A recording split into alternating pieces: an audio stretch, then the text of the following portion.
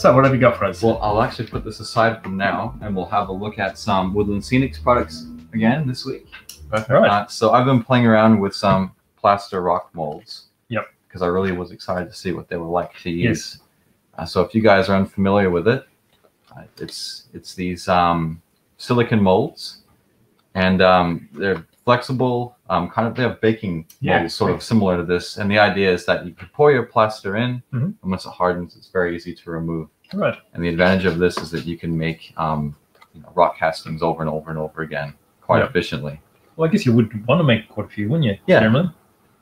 And there's a there's lots of different varieties, and this is just one example. There's probably about 15 or more Yeah, there's quite a few different, different- rock yeah. molds available. Oh, so these are the long ones. There's also the short, Yeah. stubby ones as Well, well. some big chunky ones. Yep. There's all different kinds. Yeah. These are shelf rock, but there's Right. also ones that are like massive rock face, where it's almost like just one on the entire mold. Oh, okay. Wow. Um, and then so we're gonna have a look at these. Actually, this is one of my earlier attempts Right.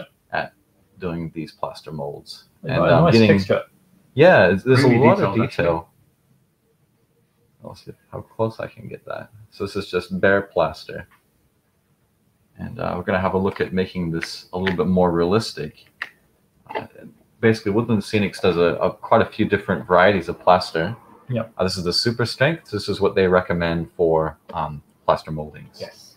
and uh, they there's probably about six different ones and then they have information regarding uh, what you would use it for so not all plasters are created, created equal some are a lot lighter than others and they're great for when you're covering large areas of terrain Yep. where weight would be an issue Yep. in this case strength is the most important factor and maintaining that detail so Right. this is what they recommend for that So this one's really dense. It looks dense. yes yeah this is Looks particularly It's dense actually one quite heavy. It's very heavy. yeah Right. Okay. So one really easy way to make this come to life is with um, earth colors. Yep. These are pigment paints, so they're quite thin and watered down. Yep. And uh, we'll just quickly demonstrate what it's like using those. I just have these little sample bottles here, and we're just going to paint these up very quickly and, and show you guys what the results will look like. So we've got burnt umber. Let's put it in this one. Whoops. So these are straight out of the bottle like this. Straight out of the bottle. So Right. very, very so it is like it's like a wash. It's very liquid, isn't it? very liquid. Probably could have used a good shake up Beforehand. beforehand. So what I'll do is when I open up the yellow ochre, I'll actually do that first. Well, this way can So it's a pigment. I guess it's got uh, the, the powdered pigments in it, which give it the um, a little bit of a grainy finish. That's right. That came out much smoother. Yes, Right. definitely. Had a good shake Just, up. just give it a bit of a mix. And this one is Yeah. actually pretty good too. And then Okay. any kind of foam brush. I've just got these little foam brushes here. Yep. And it's really good to just spot the plaster. So you don't want to cover the whole thing. So you're just You- doing a random dab, are you? Yeah, random dabs. Yep. Leopard spotting is is sometimes what it's called too. Right. And because it's the wash is nice and thin, what Yep. it will do is it will actually um, travel to all of the recesses uh, in the in the molding itself and highlight those areas. It'll highlight all of the textures. Yep. So that's I'm going to say it's probably about fifty percent covered. Yep. Um, and then we'll do the same with this one too. And you could use different colored washes for different colored rocks depending on the kind of geographic location that you're trying to recreate. So these could be like red rock if you're doing the desert, or they could be like a gray rock if you're doing like shale or something like that. Yep. Um, so that's about 50% with that one. That's pretty quick, isn't it? way. Yeah. It's very effective already. Yeah. It makes a big difference when you go from this uh, from the white to this uh, kind of yellowish, you know, creamy color. It makes- I'll probably put that on the tray. Yeah. actually. And, um, Okay. This will add um, just a nice contrast. So we're only using two colors. You could use a lot of other colors for this. And I think it's the, the dark that really highlights it. But you want to put your light colors on first because you can always make things darker. Yeah. But it's really hard to reverse that process if you've Yeah. applied your darkest um, washes first. Yeah. oh, because they're so transparent. So that's that one. And we'll try this one. And all the and the gravity will pull this into all of the really um, recessed areas on the molding. You can just keep adding until you're happy with the way it looks. It's really It's really, it's really effortless. Quite therapeutic. Actually, it's quite That's therapeutic. Yeah. You remember a couple of weeks ago, uh, we actually did a, a, a bigger set, Hmm. remember? And that was uh, similar process. The rock was already made at the time. You just did some painting. Yeah, that's right. Um, we sort of went through and demonstrated how to do a little diorama, and That's that, right. this was one aspect Aspect. of it. But I really wanted to do the mold myself and Yeah, Yep. that's see how that performed. So Oh, there, look at that.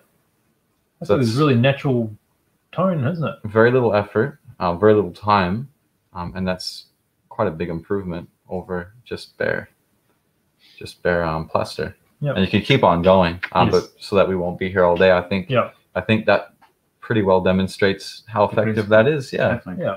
So Great. Al is asking um, how heavy and brittle are these um, these rocks really? So I, I would define they're quite heavy and they feel also quite brittle at the same time. So there's a good weight. They, they are fairly brittle, um, and the brittleness will depend on kind of plaster you That's use right. and how effectively you've mixed your plaster, like the water um, to plaster ratio. Right. So, to my knowledge, I think it's the more water you add, the weaker it is. The but that could is. be that could be the opposite. I have to Yeah. double check. But uh, one one great way to sort of get randomization if you're stuck using the same rock mold over and over and over again. Yeah. So this is a big one. This is one that came out of a mold where it's pretty much just one Full. on the whole sheet. Yeah. And um, if if that if you're not happy with that, if if there's not enough randomization, you literally can break it apart, or you could drop it from like a, a small height And it and comes then and then let let a randomization um, happen. yeah let it happen and that way you can you can get a lot more um, out of these molds by Absolutely. That's allowing them to become different shapes It's still very crisp way it's come apart, so it doesn't doesn't just fall apart. That's right. So you still got a, a rough edge, but it's still it's still easy to manipulate. Absolutely. Yeah. I would say treating it with the same level of care you treat a layout or a diorama it's pretty durable it would hold Yep. up for quite a few years Yeah. Well, I guess if you wanted this to last forever, you could probably coat it with something else, like um, seal like yeah. like an epoxy. Yes. So how would you normally glue this onto your um your base?